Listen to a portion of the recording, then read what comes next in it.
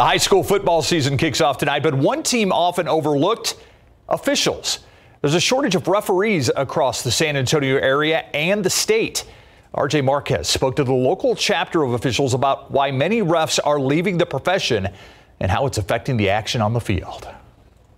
Dave Maxwell is entering his 30th season as a Texas high school football official. It's a brotherhood, and, and the reason at the end of the day why I do it is because the other guys on the field with me. Maxwell is the vice president of the San Antonio chapter of the Texas Association of Sports Officials. As the association gets ready for its new season, they're doing it with smaller numbers. We have a, a new member class in San Antonio of, of 60 officials.